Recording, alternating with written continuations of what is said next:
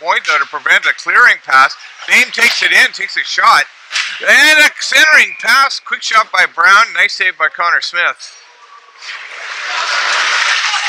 Wong keeps that in, moves it down low. Bedard shoots and scores.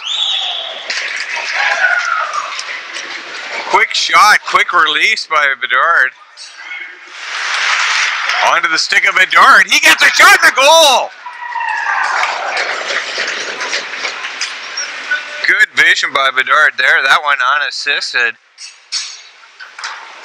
Comes back now to Lou. Lou, oh! Mitten gets a tip on that. It bounces a couple. Oh, that was close. That was very close.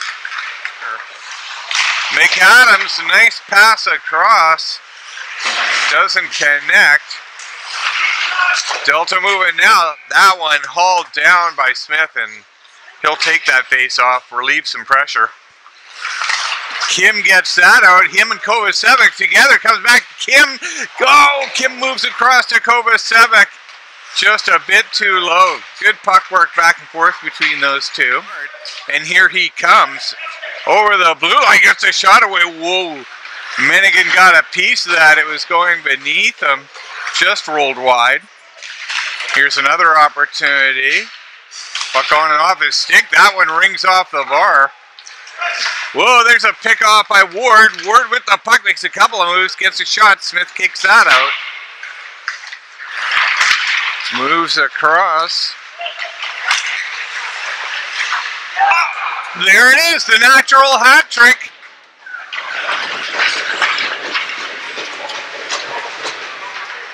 And that is an even strength four on four goal. One pass. Gelbard going for a skate. He's over the blue line. He tries a shot. What a snipe! From the far left side, he drew Minigan over and shot it far side. So that didn't take long. I'm thinking that came within about 15 seconds of the last goal. To Gelbard. Gelbard gives to Minton. Minton to Bedard. Bedard shot the goal. My goodness, his fourth of the game. So that's Bedard for Minton and Lou. And that's it. Now a five on four. Kovacevic with the puck gives to Lou. Lou snipes.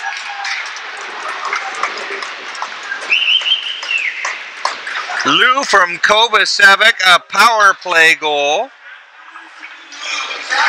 That's it. This one finishes 6-5 for Warriors.